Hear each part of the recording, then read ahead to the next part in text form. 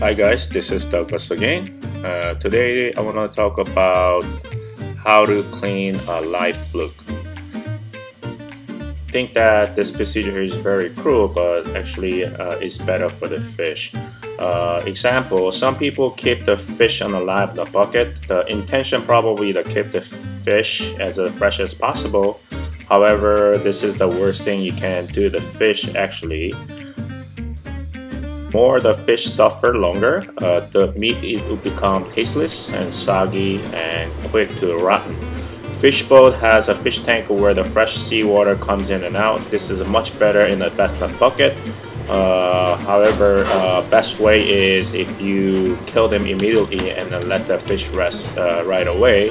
Um, it actually tastes better and better for the fish.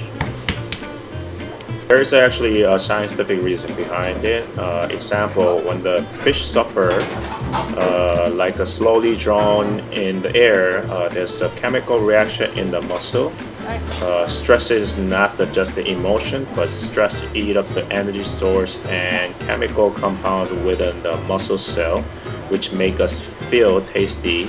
Uh, stress is also liver fatigue components like lactic acid and ammonia within the meat.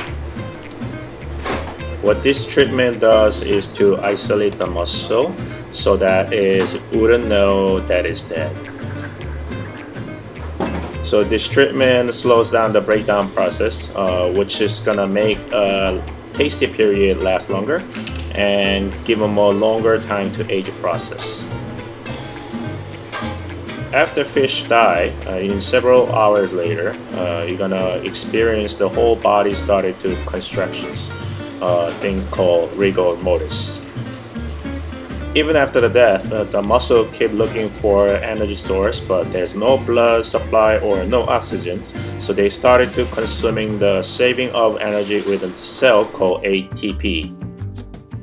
ATP, also known as adenosine triphosphates, and that decrease the change in pH level and results in the whole body contractions. After ATP is all used up, the muscle literally dies. Uh, that's at the time when the body is almost rigid, uh, the stage of rigor mortis. After this, the body starts to loosen and the protein start break down to amino acid and uh, eventually it becomes or decompositions. Like as you see, uh, by breaking down the spinal cord uh, with a long metal skewer, uh, what's going to happen is basically you put the meat into the sleep and slow down and calms down the breakdown process in a way uh, so we can uh, call like age the fish for a little more longer. After proper prep, uh, the aging process become longer. Uh, there's more time before decompositions so that meat can sit mature and develop umami component for rich flavor. Why this is happening? The basically protein has been broken down by its own enzyme to amino acid.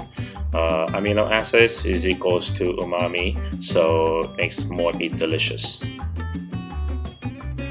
Once again, this was Douglas and hope you guys liked this video and informative and thank you and hope see you guys soon.